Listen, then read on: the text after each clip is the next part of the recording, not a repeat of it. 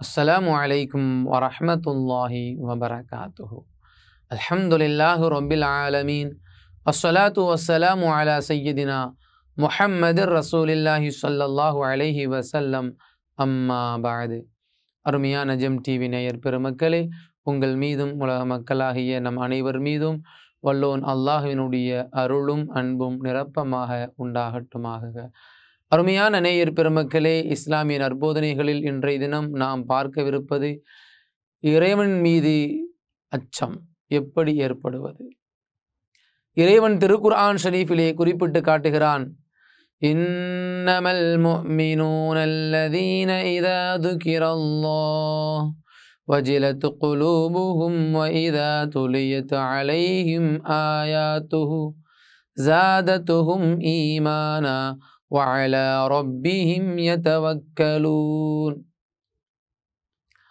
படைத்த இறைவனை கொஞ்சமாவது நாம் பயந்து வாழ்ந்தோம் என்று சொன்னால் நாம் இவ்வுலகிலே நேர்மையானவர்களாக உண்மையாளர்களாக இலகுவான முறையிலே வாழ்ந்து விடுவோம் ஏனென்று சொன்னால் படைத்த இறைவன் நம்மை எப்பொழுதும் எந்த நேரத்திலும் கண்காணித்து கொண்டே இருக்கிறான் என்கிற ஒரு சிந்தனை ஒரு ஈமான் உள்ள மனிதனுக்கு எப்பொழுதும் இருந்து கொண்டே இருக்கிறது என்று சொன்னால் அந்த மனிதன் உண்மையாளனாகவே வாழ்ந்து விடுவான். அந்த மனிதன் மோசடி செய்வதிலிருந்தும் தன்னை பாதுகாத்து கொள்வான். அடுத்தவர்கள் மீது அவதூறு பேசுவதிலிருந்து தவறான சிந்தனை கொள்வது தவறான எண்ணத்திலிருந்து தமது வாழ்வை நேரிய வழியில் அமைத்து விடுவான். எப்பொழுது படைத்த இறைவன் நம்மை கண்காணித்து கொண்டிருக்கிறான் என்கிற உணர்வில்லாமல் ஒரு மனிதன் வாழ துவங்கி விட்டானோ அந்த மனிதனுடைய வாழ்வில் அசுத்தங்கள் நிரம்ப வழி ஆரம்பித்து விடுகிறது. எந்த மனிதனுடைய உள்ளத்திலே இறைவனின் பயம் நிரந்தரமாக இருக்கிறதோ அந்த மனிதன் ஒவ்வொரு விஷயத்திலும் அல்லாஹ் நம்மை எந்நேரமும் கண்காணித்து கொண்டிருக்கிறான். நாம் எல்லா நேரங்களிலும் எல்லா செயல்களிலும் எல்லா விஷயத்திலும் நாம் உண்மையாளராக இருக்க வேண்டும் என்கிற விஷயத்திலே ஒரு மனிதன் தமது வாழ்வை நெறிப்படுத்த ஆரம்பித்து விட்டால் அந்த அடியான் மீதுதான் அல்லாஹ் அளவு கடந்த அன்பை கொடுக்கக்கூடியவனாக இருக்கிறான். அல்லாஹ் என்கிற ஒரு வார்த்தை ஒரு சொல்லப்பட்டு விட்டால் இயற்கையாகவே அந்த மனிதனுடைய உள்ளம் நடுங்கக்கூடியதாக இருக்கும். அவன்தான் உண்மையான இறை நம்பிக்கையாளன் என்று இறைவன் திருக்குறானிலே கூறுகிறான். இதாவது கிரல்லாஹு வஜிலத் குலூபுகும் நம்பிக்கை கொண்டோர் யார் என்று சொன்னால் அல்லாஹுவை பற்றி அல்லாஹினுடைய வல்லமை பற்றி பேச ஆரம்பித்து விட்டால் அவனுடைய உள்ளம் நடுங்க ஆரம்பித்து விடும் பயமெடுக்க ஆரம்பித்து விடும் அத்தகையவன் தான் உண்மையான மீனாக இருக்க முடியும் என்று இறைவன் திருக்குறானிலே கூறிவிட்டு அதற்கு அடுத்து சொல்லப்படும்.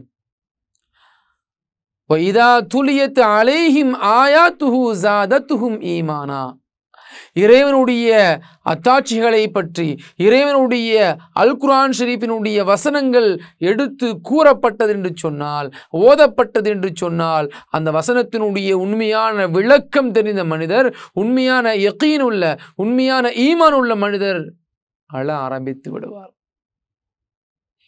ஏனென்று சொன்னால் வல்லோன் அல்லாஹினுடைய வசனம் எந்த இடத்திலே உச்சரிக்கப்படுகிறதோ அப்படி அந்த உச்சரிக்கப்படுகிற சமயத்திலே இறைவனின் திருவசனங்களை கேட்டு அந்த மனிதனுடைய உள்ளம் தூய்மை அடையக்கூடியதாக இருக்க வேண்டும். நற்சிந்தனைகளை உருவாகக்கூடியதாக தமது உள்ளம் இருக்க வேண்டும். அப்பேற்பட்ட சிந்தனையாளனாக எந்த ஒரு மனிதன் தமது வாழ்வை அமைத்து கொண்டிருக்கிறானோ அத்தகையவன்தான் உண்மையான ஈமான் உள்ளவனாக இருக்க முடியும் என்று அல் குரான் ஷரீப் கூறுகிறது. ஆனால் இன்றைக்கு நிலை எப்படி இருக்கிறது? வியாபாரம் செய்யக்கூடிய இடத்துல பொய் சொல்லுவது வியாபாரம் செய்யக்கூடிய இடத்துல மோசடி செய்வது வரக்கூடிய கஸ்டமர்களை ஏமாற்றுவது. அந்த ஒரு பொருளை வியாபாரம் செய்கிறார் என்றால் அந்த பொருளின் மீது இருக்கக்கூடிய தன்மையை மாத்திரம் சொல்லாமல் அதிகப்படியாக அந்த பொருளை பற்றி புகழ்ந்து சொல்லி வரக்கூடிய அந்த வாடிக்கையாளர்கள் அந்த பொருளை எப்படியாவது வாங்கணும் நமக்கு ஒரு வியாபாரம் நடக்கணும் அப்படிங்கிற விஷயத்தில் எந்த ஒரு மனிதன் ஏமாற்றுவதோ மோசடி செய்யக்கூடிய விஷயத்தில் ஈடுபடுகிறானோ அவன் இறைவனை சார்ந்தவன் அல்ல. அவனுடைய உள்ளத்தில் இறைவன் இல்லையா என்று சொன்னால் இல்லை என்று தான் சொல்ல முடியும். இறைவனுடைய பயம் ஒரு மனிதனுடைய உள்ளத்தில் இருந்ததென்றால் அந்த மனிதன் உண்மையாகவே வாழுவான் உண்மையாகவே வியாபாரம் செய்வான் உண்மையை மாத்திரமே பேசுவான். அவனிடத்தில் ஏமாற்றம் இருக்காது மோசடியினுடைய செயல்பாடுகள் இருக்காது. அதைத்தான் இறைவன் கூறுகிறான். நபிகள் நாயகம் ரசூலுல்லாஹி சல்லல்லாஹு அலைஹி வசல்லம் அன்னவர்கள் ஒரு இடத்திலே ஓய்வெடுத்து கொண்டிருக்கிற பொழுது நபி அவர்களை கொலை செய்வதற்காக வேண்டி நேரம் கிடைத்து விட்டது என்று வாளை ஏந்தி கொண்டு நபி அவர்களை நபி அவர்கள் வைத்திருந்த அந்த வாளை எடுத்து நபி அவர்களிடத்திலே உன்னை நான் இப்பொழுது வெட்டப் போகிறேன். உன்னை நான் கொலை செய்யப் போகிறேன். உன்னிடத்திலிருந்து என்னை பாதுகாப்பது யார் என்று ஒரு எதிரி கேட்கிறார். அப்படி கேட்கிற பொழுது கொஞ்சமும் தளராமல் உண்மையான ஈமானுக்கு சொந்தக்காரராக இருக்கக்கூடிய நபிகள் நாயகம் சல்லல்லாஹு அலைஹி வசல்லம் அன்னவர்கள் எந்த ஒரு சலனமும் இல்லாமல் அந்த எதிரி இடத்திலே சொல்வார்கள். எதிரியின் கையிலே வாள் இருக்கிறது.